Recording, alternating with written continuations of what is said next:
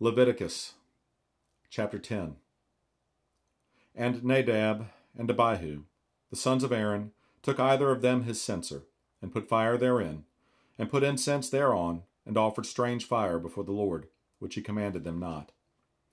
And there went out fire from the Lord, and devoured them, and they died before the Lord. Then Moses said unto Aaron, This is it that the Lord spake, saying, I will be sanctified in them that come nigh me, and before all the people I will be glorified. And Aaron held his peace. And Moses called Mishael and Elzaphan, the sons of Uzziel, the uncle of Aaron, and said unto them, Come near, carry your brethren from before the sanctuary, out of the camp. So they went near, and carried them in their coats out of the camp, as Moses had said. And Moses said unto Aaron, and unto Eleazar, and unto Ithamar his sons, Uncover not your heads, neither rend your clothes, lest ye die. And lest wrath come upon all the people, but let your brethren, the whole house of Israel, bewail the burning which the Lord hath kindled. And ye shall not go out from the door of the tabernacle of the congregation, lest ye die. For the anointing oil of the Lord is upon you. And they did according to the word of Moses.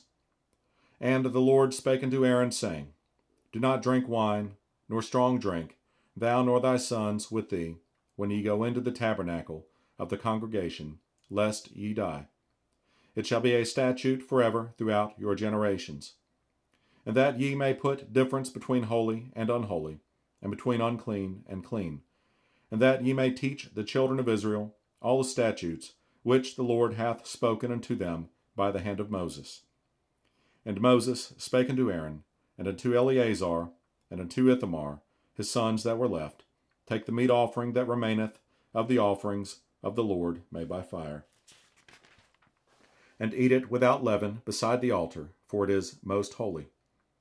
And ye shall eat it in the holy place, because it is thy due, and thy sons' due, of the sacrifices of the Lord made by fire, for so I am commanded. And the wave breast and heave shoulder shall ye eat in a clean place, thou and thy sons, and thy daughters with thee. For they be thy due, and thy sons' due, which are given out of the sacrifices of peace offerings of the children of Israel. The heave shoulder and the wave breast shall they bring with the offerings made by fire of the fat, to wave it for a wave offering before the Lord, and it shall be thine, and thy sons with thee, by a statute forever, as the Lord hath commanded.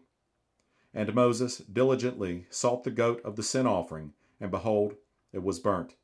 And he was angry with Eleazar and Ithamar, the sons of Aaron, which were left alive, saying, Wherefore have ye not eaten the sin offering in the holy place, seeing it is most holy, and God hath given it you to bear the iniquity of the congregation, to make atonement for them before the Lord? Behold, the blood of it was not brought in within the holy place.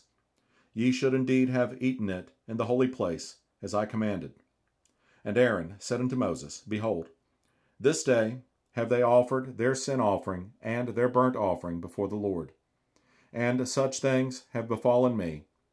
And if I had eaten the sin offering today, should it have been accepted in the sight of the Lord? And when Moses heard that, he was content.